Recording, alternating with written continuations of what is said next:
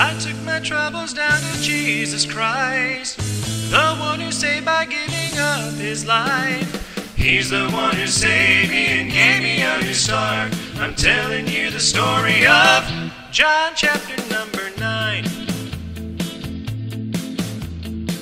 I told him that I was blind with sin.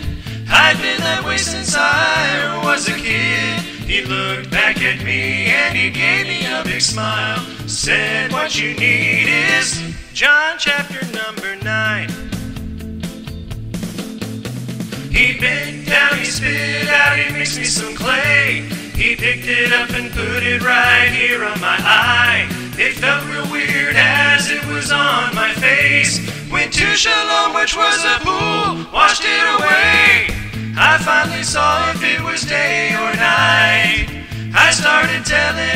everyone in sight.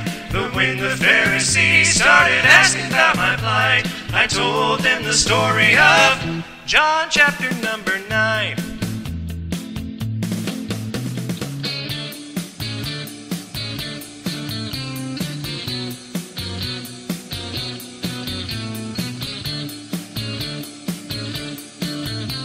Went to Siloam, which was a pool, washed it away.